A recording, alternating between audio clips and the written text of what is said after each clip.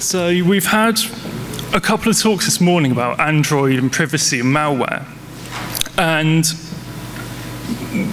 we all know that malware comes into effect because an app comes in and it asks for permissions and you grant the permissions and then it does something it shouldn't do with the permissions. So if an app can read your address book and access the internet, it can upload your address book to the internet.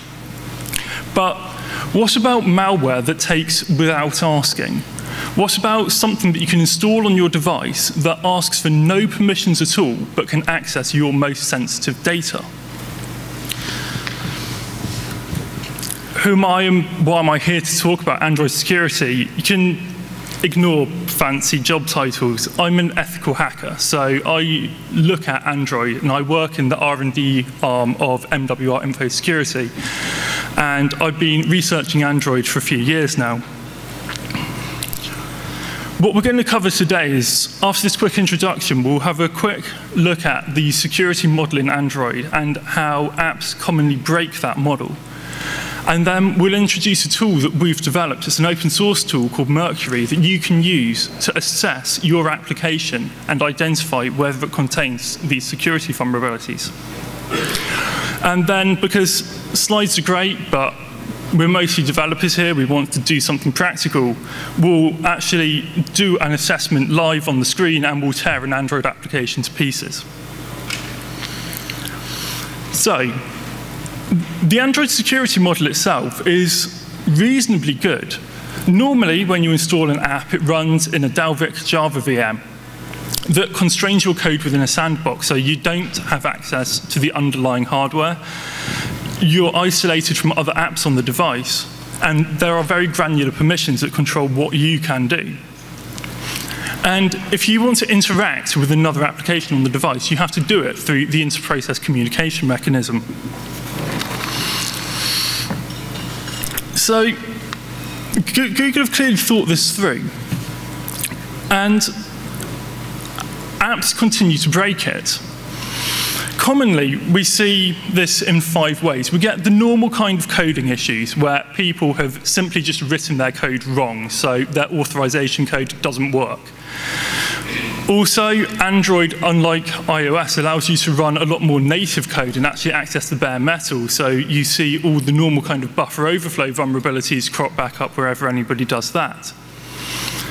The SD card is a massive source of vulnerabilities that we see a lot of people don't seem to realize that the SD card is world readable and back up that application to that device or write an application to that device before installing it, which opens massive vectors to attack.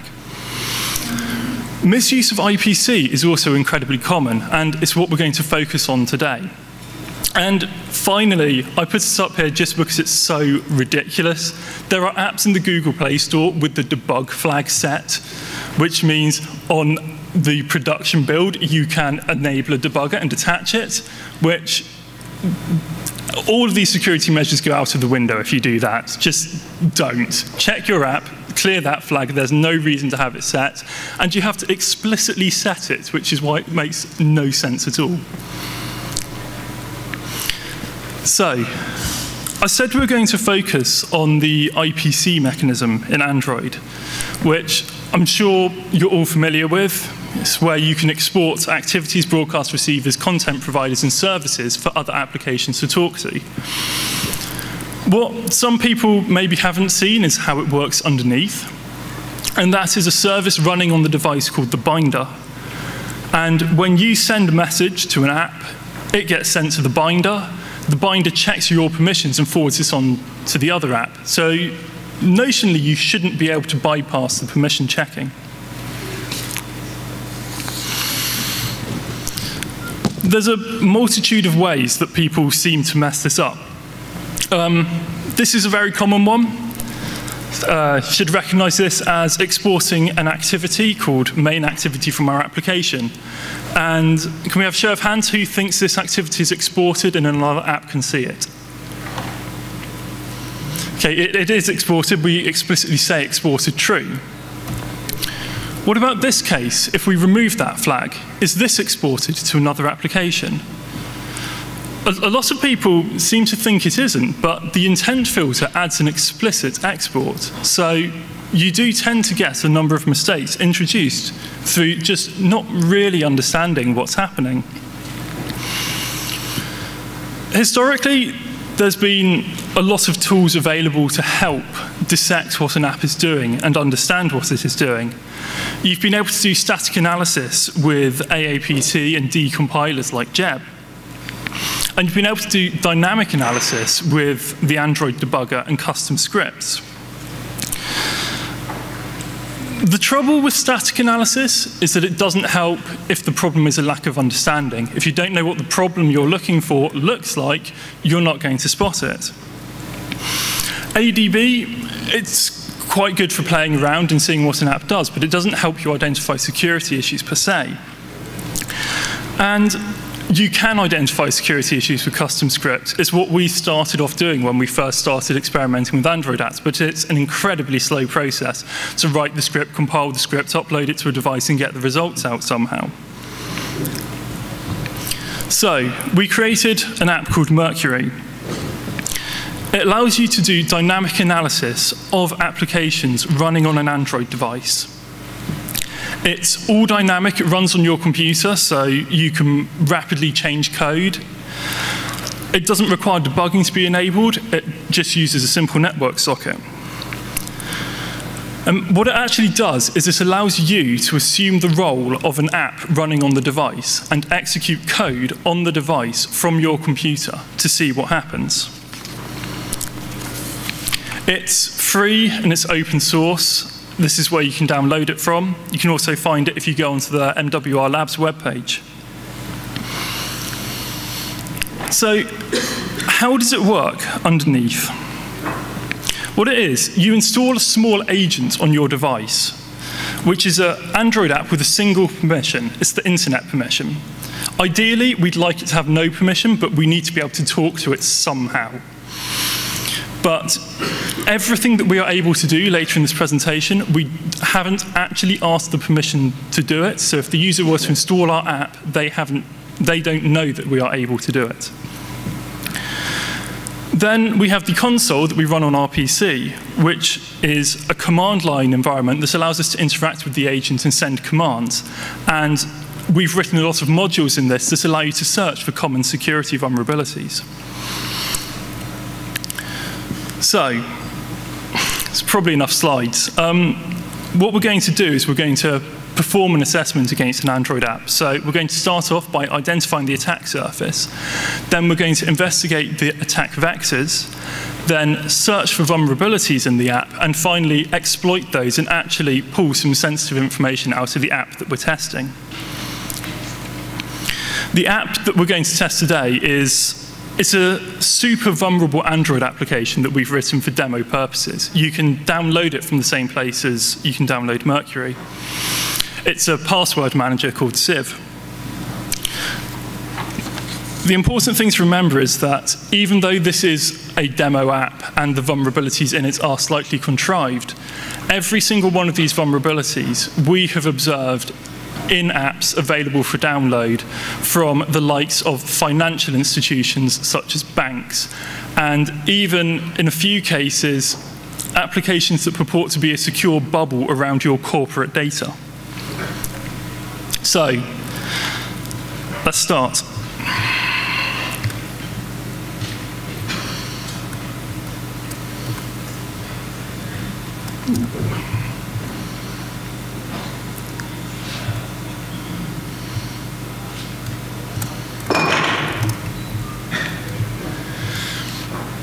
In the emulator on this side, we've just got a straight install of Jelly Bean. I think it's version 4.1.2. And we have the password manager Civ installed here.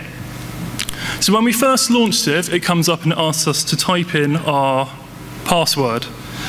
My very secure password is this is my password. And once we sign in, it lists out the passwords that we've stored for other services. And if we click them, it will copy them onto the clipboard and we can paste them into a web app to log in. Alongside Civ, we've installed the Mercury agent, which allows us to interact with the device. So we'll just start the embedded server, which will allow us to connect to it. And because we're using an emulator and connected by ADB, I just need to do a quick port forward.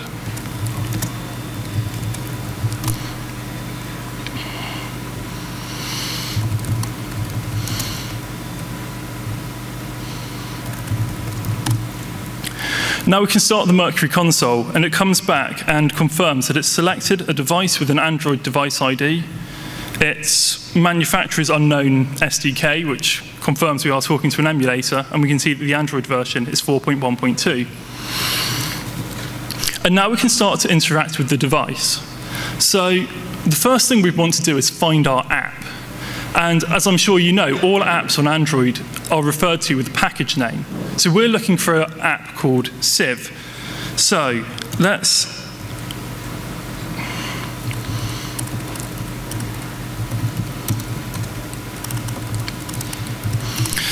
So we can ask Mercury to list the installed packages and show us only those that contain the word Civ. And this comes back and we found our installed application, com MWR example civ. So now we want to perform the first step of our security assessment. We want to identify the attack surface.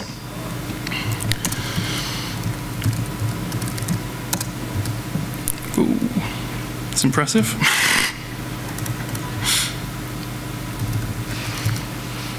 The way Mercury is arranged internally is we have a number of modules that we can run. So app package list was a module that knows how to talk to the package manager and retrieve a list of packages. We're now going to use app package attack surface that will inspect an inspect a package and show us what is exported and what we can interact with, potentially from our zero permission context. So we can see that our app has three activities exported, two content providers, and two services. And yes, we have the debuggable flag set. So now we can investigate each one of these potential vectors a little bit more to see whether we could actually attack the application with it. We'll start with activities.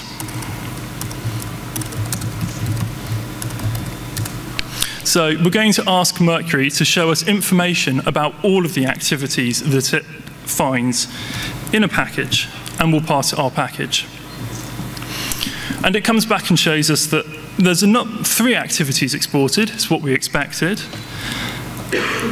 None of them have any permission required to access them, otherwise it would have printed that out.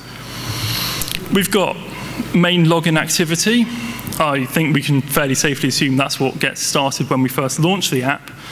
There's some more interesting ones in here. So there's a password list activity. And I'd wager that that shouldn't be exported. So if we flick back to the emulator, we can see currently we're looking at the Mercury server. We can investigate this vector. So we can ask Mercury to start an activity. And now we can formulate an intent that it will pass to the start activity command. So send the component, we have to specify the package name and then the activity that we want to start. And if we flick back to the emulator, sure enough, we've been launched straight into our list of passwords.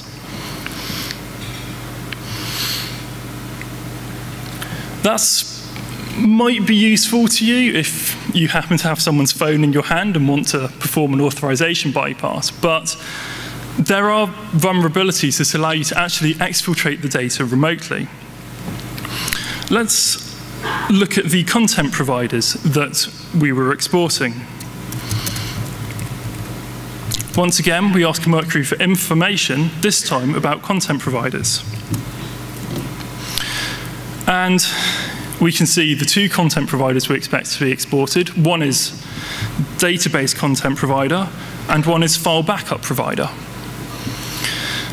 Interestingly, the read and write permissions on this content provider are set to null, which would imply we don't need any permission, we can do whatever we want to it. Unless we specify a path of keys, and then we need a read keys or write keys permission, which would suggest that the app developers believe that the information stored in there is particularly sensitive.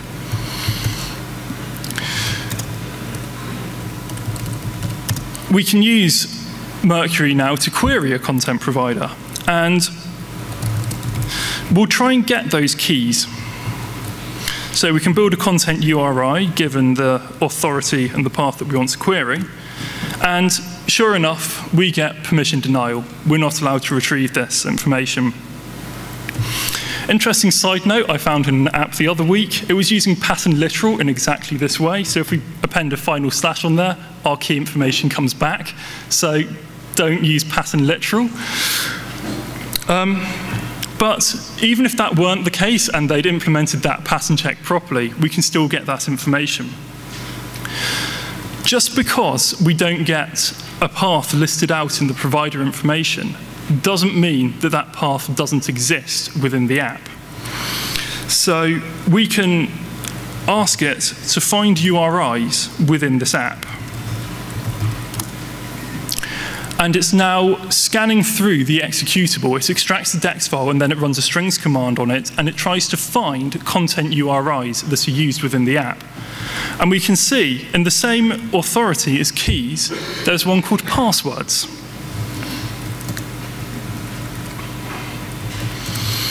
So let's query that. And it comes back and it lists out all of our passwords, which probably isn't great, but at least the passwords seem to be encrypted. It's some binary data, so Mercury has base64 encoded it before printing it out to screen. The thing is, a database content provider in Android is almost certainly backed by an SQL-like database. So it's vulnerable to all the SQL injection attacks that were running around the internet 10 years ago. So let's try, let's try specifying a projection to that query. And we'll just send a single quote mark. Doesn't look so good. Nice feature of Android is it sends back the entire query it tried to execute when you cause an exception like that, demonstrating that indeed, it did allow you to put whatever you wanted in the select portion of the query. So, it's an SQL-like database. It will have a table called SQL-like master that will tell us the whole schema. So let's select star from SQL-like master and put in two dashes to make the, all the query that should be running a comment. And it comes back and it shows us we've got a table Android metadata that's always there, a table passwords that is what we were querying, and a table key that I suspect maps to the keys content provider that we shouldn't have access to. And we can confirm that by selecting star from key. And once again, we retrieve all the information from the database that, on the face of it, was protected. To wrap up the section, we'll also look at services to I, I, promised that we'd completely tear this to shreds. I can also recover the passwords. So let's ask for service info.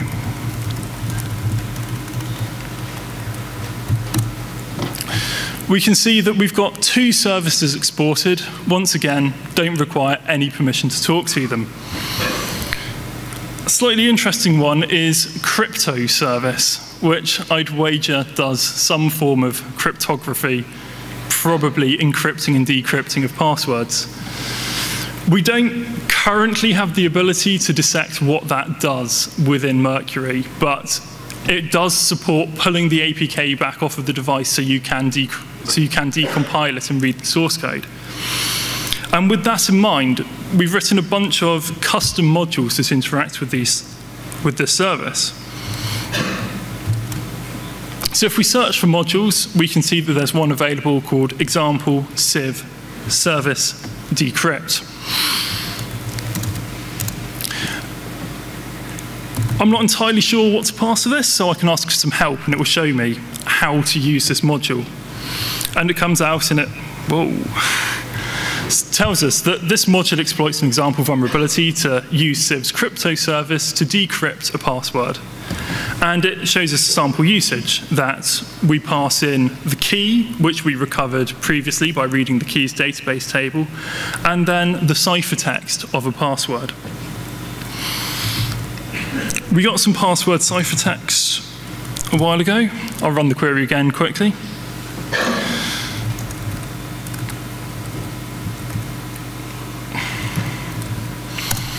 So we're going to ask it to decrypt with this is my password and the ciphertext for the supposed Google password. It takes a second it's quite slow encryption and it comes back and it tells us that that password actually said password 1.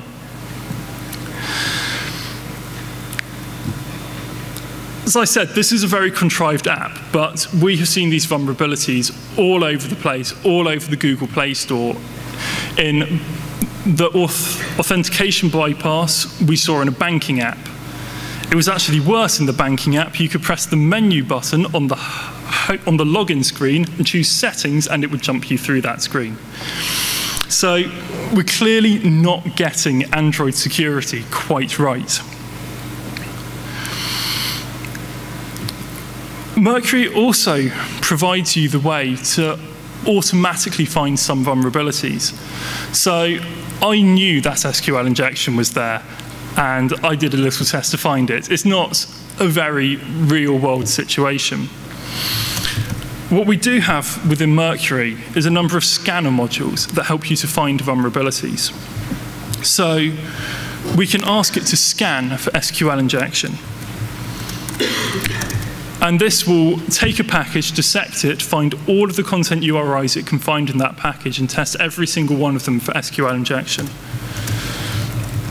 So if we run that against Civ, it takes a couple of minutes, but it comes back and it confirms that there is injection in the projection of the password's content provider and also in the selection of it.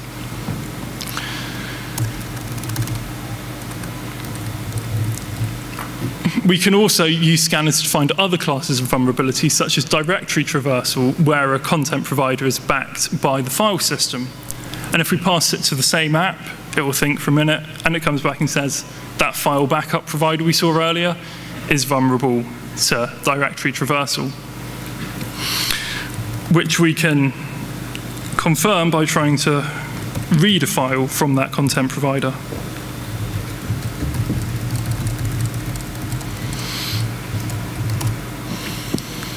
And thus read the host file off the device. The host file, not so much of a problem because it's meant to be world readable. It's a kind of a requirement of Linux. But if we can read a file in the context of another app, we can read all of that app's sensitive data, which Android handily stores in a very predictable format for us. So we can read from data, data, com MWR example civ databases database.db and it will cough up the entire SQL-like database to us.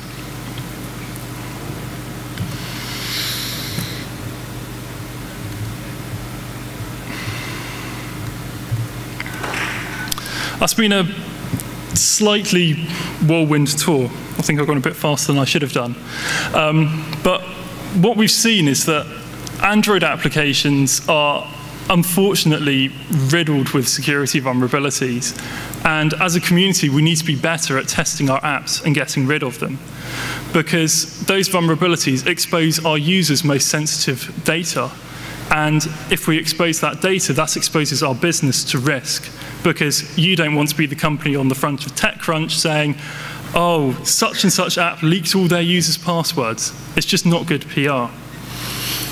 But we do have tools available to help, and Mercury is one of them. So you can download, the link once again, and you can also follow the project on Twitter. It gets updated very frequently. Thank you. Thank you, Daniel.